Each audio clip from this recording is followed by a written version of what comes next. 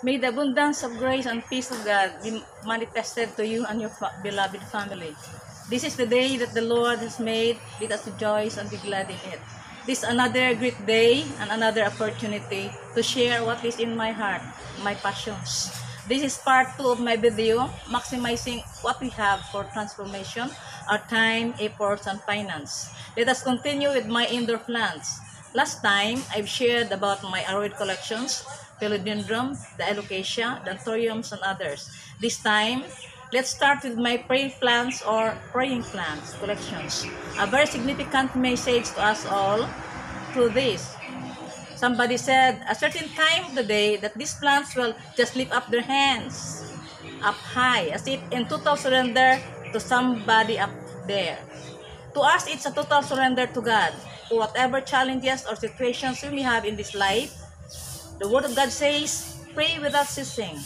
Ask God for anything by prayer and supplications. Another, come unto me all who are weary. There's no storm that God won't carry you through. No bridge that God won't help you cross. No battle that God won't help you win. No heartaches that God won't let you go off.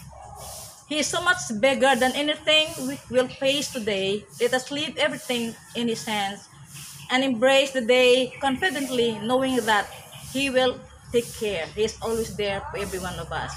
Now, here are my praying plants collections, the Calathea, the Maranta, and the Stramante. Here, my Calathea ornata. My Calathea Angela, Michaelatia and Cygnus, Michaelatia lucineri or the Brazilian star,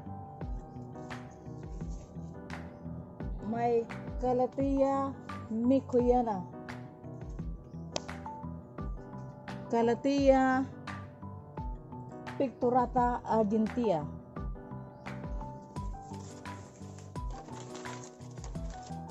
My Calathea Tristar Tromanti Potion Pink. My Calathea Elitior Apiris- Aspirista Elitior Okami. My Calathea Lancifolia. My Calathea Bachymiana.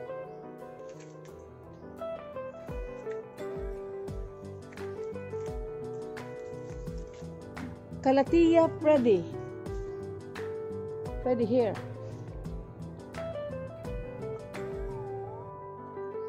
Calathea Lychee Potion White. The Triostar Stromante Potion Green. Calathea Medallion. May Calathea Sebrina. Michael Michael Maran Maranta Lobersiana. Michaelatia kuruna, Maranta Red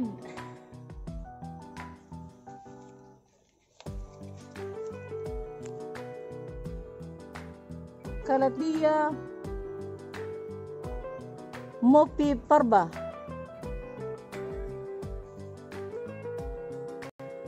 Calathea Elliptica Bicata.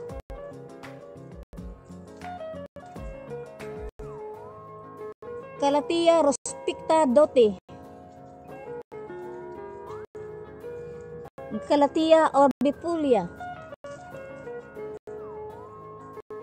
Calathea Peacock na zebra plant. I've also here my Stromante Charlie. With them are my photos collection, the golden photos, the marble queen photos,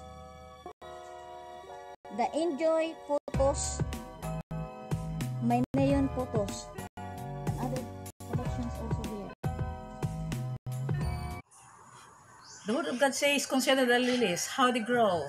They neither toil nor But I tell you, not even Solomon in all his glory clothed himself like one of these. Here are my pastelized collection. The old one, the variegated one, the, the variegated one. Beautiful paisley.